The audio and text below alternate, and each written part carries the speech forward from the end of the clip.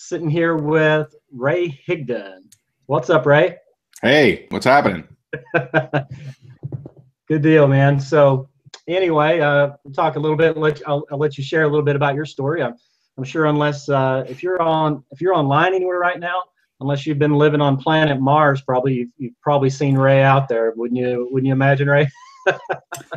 I mean, I can't I can't profess that, but um, I appreciate the sentiment. Yep.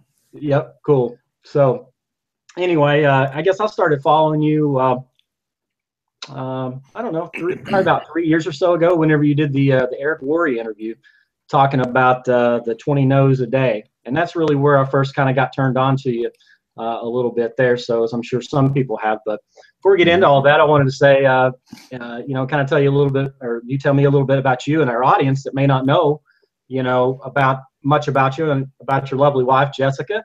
Uh, sure. I got to meet um, a couple of your sons. I got to meet them at Top Earner Academy. And uh, man, they were hustling, dude. I love the hustle. They they were cracking me up. Yeah. And uh, of course, you got a new you're a new dad to uh, baby Sabrina. So tell us just a little bit how all that's been going.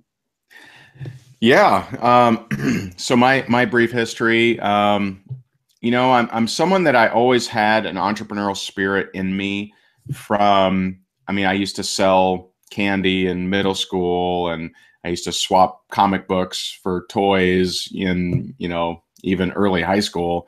And so I always had this entrepreneur spirit, but I really didn't have any kind of um, you know support. You know, like no one around me was had you know really been in the entrepreneur space.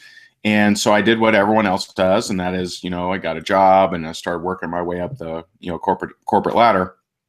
And I came to a point where I, um, I, I just realized I wasn't doing what I was meant to do, and I was spending more time with pictures of my my sons and the real thing, and uh, I just wasn't happy. And so, you know, I went out on my own to do uh, real estate, which actually worked out totally to my dreams for a few years. And then when the real estate market crashed, I got beat up really bad, ended up in personal foreclosure, um, lost everything that I had, and um, and life was pretty lean. And a friend of mine invited me to go check out a, a home meeting uh, for a network marketing company, and I had nothing else going for me, so I decided to take that seriously, and uh, I went after it. And um, hmm,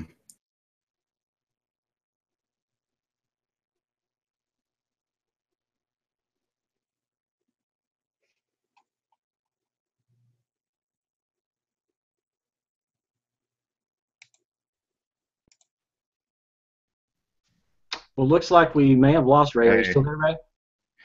Yeah, I don't know. I just I just got a weird message that I was logged out of uh, my Gmail account. So sorry about that. I oh, hopefully that won't happen again. Um, are you able to edit this or? Uh, we'll flow with it, man. It's all. I, I think we caught most of it. I think it just kind of cut you off there at the end. All right.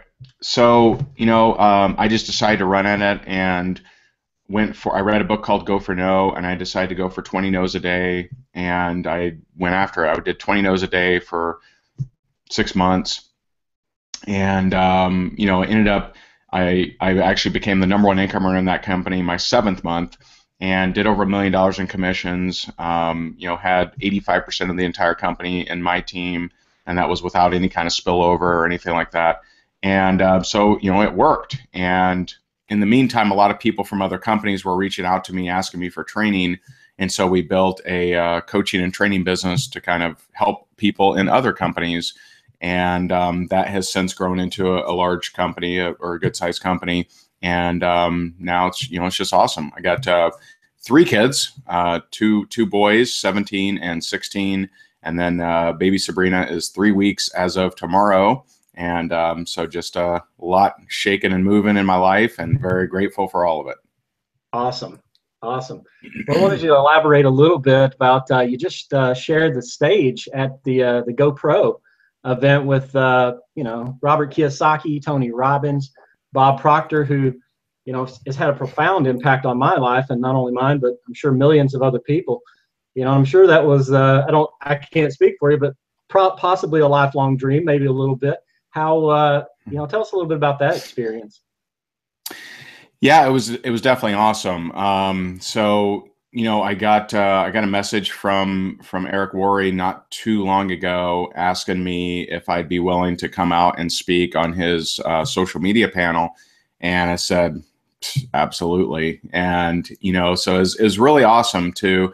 I had never seen um, Kiyosaki, Proctor, or Tony Robbins speak live. I'd actually met Tony before, but I'd never seen him actually train live. So not only was it quite the honor to share the stage with all those amazing legends, but it was also super cool to actually see them all train. You know, I've gone through a lot of Bob Proctor training over the years, and at 81 years old, what an amazing dude. Um, I mean, he just had so much energy, and his topic was so deep and so powerful.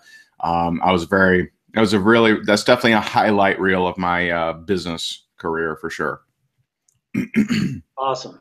Well, that sounds good. I know you elaborate a little bit more of your story and uh, uh, a little bit of, uh, ago, but uh, I met uh, a personal, uh, I guess, hero of mine and mentor, which was Jerry Clark at yeah. your top earner event, which yeah. was a big deal for me because I've had pretty mm-hmm. much this whole thing. And then, of course, he sold some of his products, you know, on sale. And I said, Jerry, I wish I'd have known that. I wouldn't have paid the thousands for them. I knew you're going to bundle them all together, yeah. which was pretty cool.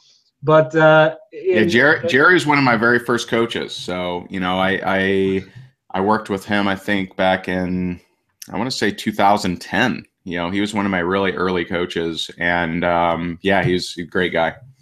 Yeah, it, he's he's hilarious. I just I love his style. So, but uh, anyway, uh, one one of the questions that uh, you know I had just a few questions for you. One of them was, um, you know, you're known for promoting building your brand you mm-hmm. know, and, and, obviously a lot through blogging, uh, how to build your brand, how to build your authority. And uh, I've been through your three minute expert, uh, actually getting ready to go explore it, go through it deeper since I've really implemented a lot over the last few months with it. And uh, going back to that, and uh, I would highly recommend for anybody that hasn't picked that up and you're uh, wanting to build your brand, obviously, that's I would definitely recommend that as, as really the go to source. But my question is why do you think it's so important today for people to build their brand? And especially you know with all the technology changes and you know what if any role you believe that all plays in in that? I mean there's there's lots of reasons. You know most of us that if we're especially if we're talking the network marketing space are we talking the network marketing space i think yeah more so that's that's going to be more of the crowd that sees it yeah um, so you know the especially if you look at the network marketing space, um, all of us, I believe, we get started in a company and we believe this is the one, right? And this is the one we're going to be with the rest of our lives. We're never going to go anywhere. And um, a lot of times that's not the, you know, that's not reality. Um, sometimes it's, you know, we make different decisions. Sometimes there's company changes. And, you know, I know a lot of people that, um, they've had their company go under. And that's one reason. You should, you know, understand that no matter what company you go into or what opportunity you're doing, wherever you go, there you are. And what that means is you should be building you. Um, because if you focus on building your skill set and getting content out and getting marketing out that is attracting people to you, then you don't have a crutch See, some people they have a crutch in that they have um, they're making money through a particular thing, and if that crutch ever gets pulled out from under their arm, they fall down. Uh, well, if if you don't if you brand yourself and people are genuinely attracted to you and what value you bring to the marketplace and how you help them solve problems, how you help them achieve their goals, then you don't have a crutch. You know, you're you're the powerful thing that's going to attract anybody. And that's when you see people that you know they go into you know one company they're a top earner they go into another company they're a top earner that's typically because they've figured out the whole value proposition when it comes to their their personal brand it's easier than ever i mean you know back when i first started with real estate you know for you to brand you you really had to run workshops seminars you had to buy advertising and like magazines and things like that um, now i mean you have you can flip a switch and on Periscope have hundreds of people on a Periscope, you know, right on your phone with one button. And, you know, so now it is a lot easier than it's ever been before. Um, and so there's just there's just so many reasons. You know, brand yourself, and I I I just believe if you build your own email list through your own kind of content and things like that, uh, I don't I don't know that you'll ever go hungry. Sure. Yeah. Absolutely. And that's that's really what attracted me uh, to that as well. So, uh, you know, what would you say to those that want to build a brand, but they've had no success in the past in network marketing? They've uh, they're a member of the NFL. You know, they got they got no friends left, right? Sure. Everybody runs the other way when they're coming at them. They're uh, affectionately, I would like to call them a techno idiot. Maybe they don't know what to Yeah. do online as I did. Totally Yeah. scared me to death when I started doing it. I mean, you know, is there any hope for these people, or uh, you know, what what could they do? Some simple steps to get them started on the right path. Yeah, for sure. There's absolutely hope for them. Um, first of all, you don't have to have an impressive resume to start becoming an online authority. And that's probably the biggest challenge for people in that they they don't understand that. They think that if I'm going to build a big brand online, then first I must a- accomplish a whole bunch of things. Well, when I first started blogging, I was in a house, I was in foreclosure, I had failed in 11 different network marketing companies bill collectors were literally knocking at my door or calling my phone every single hour. I was not the epitome of success. And you know i that doesn't mean that i shared that on every video because what's the point of that? But it does it, it means that you don't have to be perfect or a top earner or you know have an impressive resume to start sharing and impacting other people. So the two biggest obstacles people uh, struggle with with when it comes to online content is why would someone listen to me and what should I talk about? Well, you can easily get over both of those when you just focus on who you want to help. So if I look at my audience, I you know we serve you know network marketers and you know we do we do attract um, you know other people outside the niche, but it's mainly network marketers and we help them with uh, you know learning how to generate more leads recruit more reps become top earners uh, improve their mindset how strategies for team building and things of that nature. And you know you can learn a lot of things and just by sharing those things you can make a difference. And you know what i see a lot of is i see a lot of people that they attend webinars they attend seminars they buy courses they learn stuff but they just never teach it. They never take their notes and convert it to online content. If you just did that step you would build an audience. And so sometimes i'm literally just looking at my notes from a course and i'm reading my notes into the camera. People love it. They eat it up. You know when i went to gopro i made all i don't have them on me here but i made all kinds of notes and i shot videos sharing those notes. People loved it because you know even though there was 8000 people in the room and 6500 people on live stream there were tens of thousands of people that couldn't afford it or didn't make it that appreciate me sharing my notes. And that's that's the power of online content is i didn't i don't i don't start each video with hello i'm a two-time best-selling author and millionaire you know because who cares about that? They care how it impacts them. They care you know uh, how and what i'm going to say help them in their journey that's what they care about. So, first of all, you don't have to have an impressive resume to start becoming an online authority. As far as you know, the internet uh, and learning technology. You know, I mean, I, I hate technology. I really, I really do. You know, I, I'm not, I'm not a techno nerd. Um, I, I've, you know, my my team, you know, like my uh, the people that are that work with me in my business, not necessarily my network marketing team, but the people that work with me in my business they like crack up at me, you know, when I'm like, "How do you do this in Excel?" And they're like, "God, Ray, really? You know, I can't believe you're you're successful." Um, I, I don't know how to do hardly anything. I mean, I can't program my VCR. I, I I just don't know much about technology, whether it's the computers or any other form of technology. Um, and you know, so you're in a day and age that we're not in the we're not in the 50s where you would have to hire an engineer out of MIT um, or wherever, and he was the only person that knew how to tweak the machine that you're working on. Uh, you're in the age of you can literally have 20 people bid on your job for 20 bucks, you know, no matter what you want. So, you know, there's two things there. Number one, change your language. If you struggle with technology, stop saying you struggle with technology and you have a shot. If you don't stop saying that, you have no shot. So just you know, just call it quits. And I love it that uh, Gary Vaynerchuk he said the other day on one of his videos, he said, you know, hey, if you're a you know baby boomer or older, you need to get over the whole you know I wasn't raised with technology bit because it's nonsense. You just you can learn anything that you put your mind to you just got to put your mind to it and you got to change your language. So anyone at any age can learn technology, whether they were raised with it or not. You know, you're still a thinking human being uh, with a brain more advanced than any computers we currently have on the planet. No one even understands how it works. We just know that it works. And so you can learn anything at any age. You just need to stop stop using uh, non-serving language that is preventing that.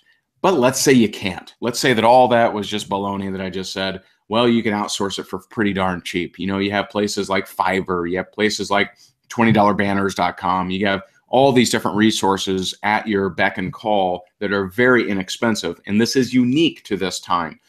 You know, I would say uh, 20 years ago, it was a little tougher. You know, if you wanted a banner made, you're probably going to pay three, four hundred dollars to a local graphics guy. You know, versus now, you can, I, you know, sometimes when I want a, a banner done, actually before we hired a, a, graphics guy i would go to fiverr and actually buy four different projects and have four people for five dollars write me a little banner and i would just pick one.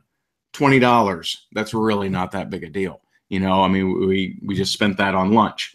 And so you know you're living in an age where the learning capacity is so great but the outsourcing capacity is also great. So it's just a great time to be an entrepreneur and it's a great time for you to get your brand out there.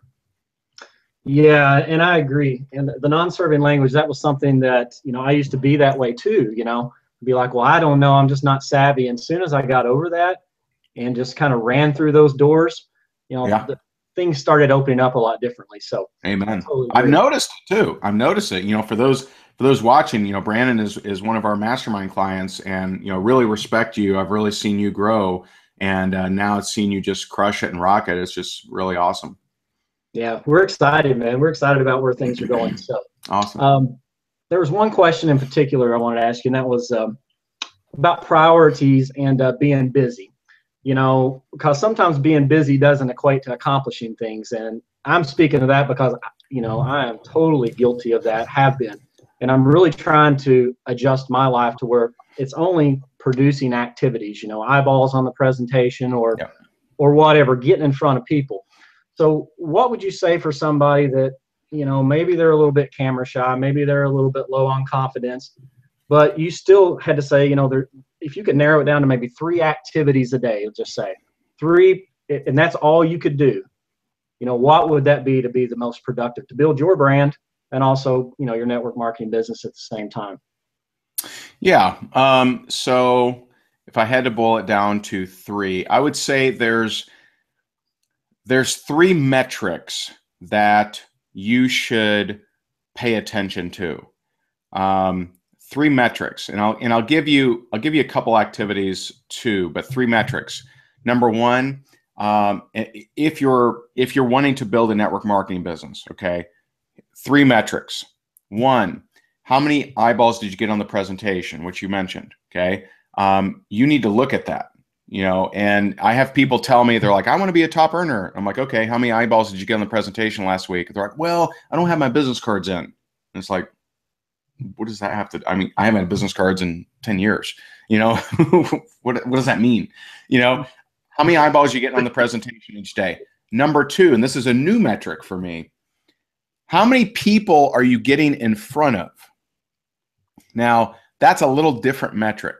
Okay. Um, when we, you know, every day, almost every day, we do a blog post, a, a Periscope, and a podcast. Our uh, blog, you know, our podcast yesterday got 2,300 downloads. Our blog, our blog post got about 2,600 visitors, and our podcast had 700 people live and maybe about, you know, um, maybe about 900 total. Okay. So I'm getting my message or a con a piece of content of mine in front of thousands of people every single day. That's a metric that if you're a marketer, you should think about. So tracking uh, how much traffic are you getting to your site?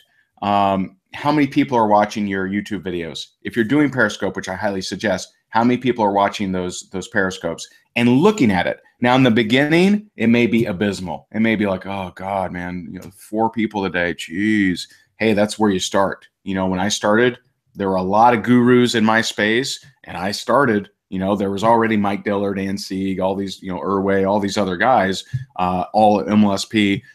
But I got started, and I did the same thing. I had crappy views, crappy everything. The third metric is leads. How many leads did you generate? Now, what can be tracked, can be measured, can be improved. And I, you know, some people they they aren't they just aren't tracking. They're not being real with themselves on any of those metrics. They don't know. If I ask them last, hey, last week, how many eyeballs did you get on the presentation? Oh, uh, you know, they don't they don't know. They don't know how many leads they got, and they don't know how many how many people viewed their message um, on a daily basis, weekly basis, et cetera, and so forth. You track those three things, your business will go through the roof because we are uh, comparison we're built for comparison, right? We compare ourselves to celebrities, we're like, "Oh man, I don't have that." You know, we compare ourselves to gurus. Oh, I wish I was like that. You know, so if you're going to compare, which we are, we're just built for comparing. Compare your numbers. Compare that last week you prospected this many people, got this many eyeballs on the presentation, this many leads, and you got your message in front of this many people, and try to beat it this week. That's a good comparison. Because if you you start doing that, and pretty soon you start changing the way that you act, you start changing your habits, and you start saying, "Ooh, okay, if I do this, is it going to impact my leads, my eyeballs, or my reach?" Um, you know what? I don't think it is. Let me do something else. You'll actually start to mold your your actions and your habits into accommodating those things that you are measuring. Just like if you wanted to lose weight, step one, start weighing yourself at the same time. You know, probably in the morning you know start tracking it okay? That way you can measure it and say you know what? Yesterday i was i was this and today i'm this Or, you know then you can improve and you go to eat you know reach for that piece of pizza you're like mm, you know what? That scale kind of hit me hard today no pizza right? What can be tracked can be measured can be improved okay? So that would be uh, number one. Um, doing things to accommodate those things. Those that would be my three. As far as you know eyeballs on the pre- on the presentation in the beginning, it's probably prospecting. If you're not generating leads, then you're not getting eyeballs on the presentation through your marketing efforts, then you need to prospect. Number two, generating leads. That would be creating online content with calls to action to either opt into a capture page or reach out to you or something of that nature. And then number three, your your reach is uh, also either online content or webinars or home meetings or you know, there's all kinds of different options there. But getting you in front of more people, that's a very powerful metric to do. And if I could just add, um, you know, maybe two more things is daily exercise, highly suggested, keep the blood flowing. That was uh, Richard Branson's number one tip for productivity is exercise daily. They said, as a billionaire, what's your number one tip for productivity? He says exercise. He says exercise daily because it'll keep you healthier, keep you out of the hospital so you can be more productive. That's pretty good from a billionaire, right? And also do self development each day. Now, I typically combine that. So I'll listen to an audiobook while I'm walking, you know, fast, uh, you know, around my complex, or I'm pedaling on the, you know, on the exercise bike, right? I'll listen to an audiobook. I knock those both out at the same time. So there, those would be my tips. Awesome. Well, I had other questions, but I think that would probably just about wrap it up as far as you pretty much about answered the other two, though uh, that I really had. So I definitely appreciate you taking your time to do that. I wanted to pop up a uh, pop up a little uh, link because there's going to be lots of people that are going to be you know seeing this. Yeah. Um, you know, seeing this interview, and uh, it's going to be going out to our audience, and then who knows, probably tens of thousands and hundreds of thousands at some point. Awesome. So, um, for those of you, I'm just going to pop this up on the right here. Um, I would highly recommend, you know, the three minute expert. I mean, as far as someone who wants to build the brand, and I, I don't say that lightly because honestly, guys, I've, I've invested a lot of money into courses and lots of things this year. I mean, a lot. And I can honestly tell you the little bit that I spent on this course right here was was a game changer for me. And it, it took me from a place of not knowing, you know, and being scared to do anything online to now just attracting followers every day. And like you said, it, it's starting to surprise me you know, that you talk about Periscope. It was like, I wasn't even on Twitter not that long ago. And then hopped on the Periscope. It's like, I don't really got any followers. And 31 people showed up, to, you know, really to the first. I was like, what is going on here? I'm like, you know, it was kind of crazy. So, guys, if you're not taking advantage of that avenue, Yeah. man, you should be. Yeah. Sure. Um, so there's a link over here. You can you can click on the checkout button. Uh, you can check it out if you want to learn more info, or you can go to winwithbrandonsimpson.com forward slash Ray. And you can check out more, get a little bit more about the three minute expert there. And uh, last thing for those that want to um, uh, want to get more stuff like this, you know, if you want to see more interviews, you want to get more, you know, more tips. Uh, you know, I'm really considering doing a lot more top earner type interviews and uh, maybe putting that into like a little series. So those of you that you know want to stay in touch, go over to my website, winwithbrandonsimpson.com, and uh, you can enter your information there. I've got a five-step lead formula uh, to give away, and uh, or if you just want to get on and just keep up with cool stuff like this, uh, we'll keep you on the loop on that. So, but that's about it. So Awesome. awesome. Thanks, Ray. I appreciate your time, brother. My pleasure. All right. Rock on. All right, man. Have a good day. You too, man.